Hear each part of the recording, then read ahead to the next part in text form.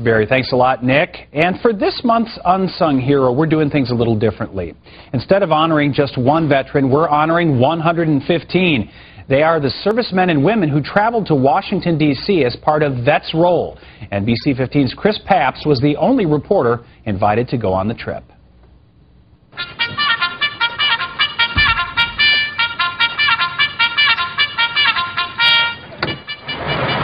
The sound of the bugle signals their departure. Nine RVs and three coach buses leave Beloit on an 800-mile journey east to fulfill the dreams of more than 100 World War II veterans.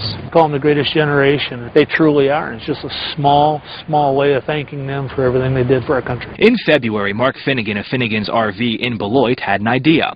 Wanting to make sure every World War II veteran got to see their memorial, he pioneered a nonprofit called Vets Roll.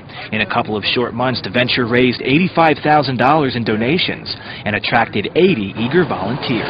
Oh, man.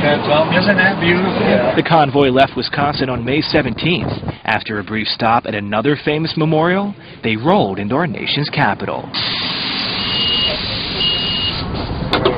Thank you, World War II vet. We certainly appreciate it. For many of these veterans, this could be their last chance to see Washington, so they were busy.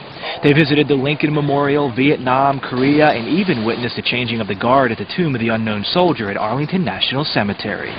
The ceremony that you are about to witness is an Army wreath laying ceremony. But they truly saved the best for last. 115 World War II veterans came on this trip.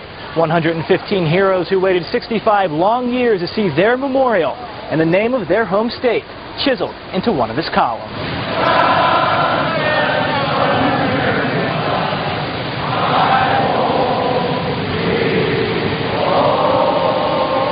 It just grabs at your heart.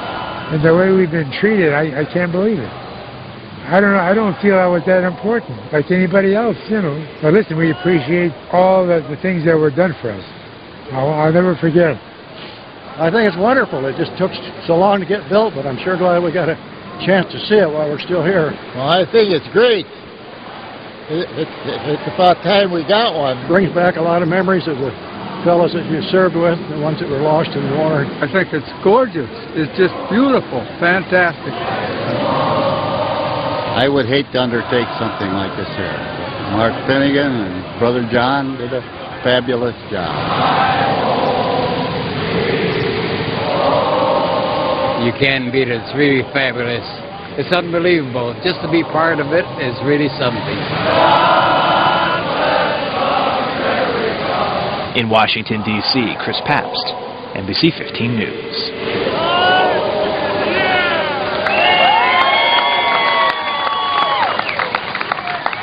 To thank them for their service.